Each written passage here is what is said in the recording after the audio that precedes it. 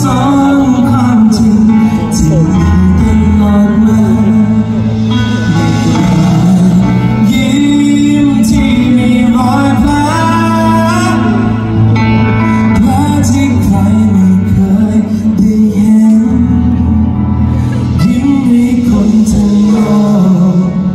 ร้องไห้กับตัวเอง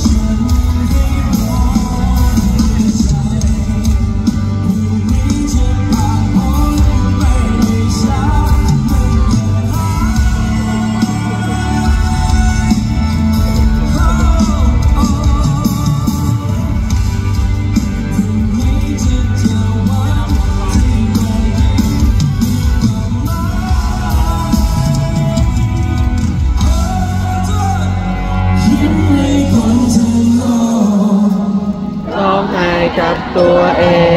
ง